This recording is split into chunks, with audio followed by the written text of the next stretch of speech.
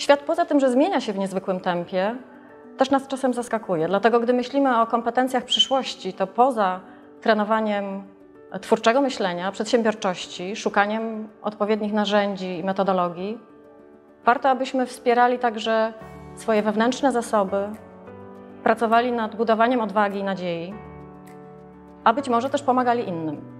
Nie każdy może być informatykiem. Możemy pracować w wielu interesujących obszarach, y, świadczyć usługi, prowadzić firmy, ale możemy też być pomagaczami. Dlatego pomyśleliśmy o stworzeniu wartościowego miejsca, gdzie mogliby kształcić się ludzie, którzy chcą lepiej rozumieć emocje innych i móc im pomagać. Współpracuje z nami grono znakomitych e, psychologów, psychiatrów, kognitywistów. Wszyscy oni są praktykami i codziennie pomagają innym.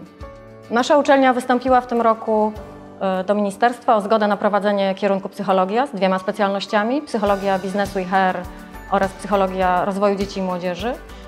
Mamy nadzieję na uzyskanie zgody e, i otworzenie nowego kierunku w najbliższym roku akademickim. Zapraszamy, mamy nadzieję, że będziecie Państwo mogli u nas studiować. Sama myślę o tym, żeby się zapisać.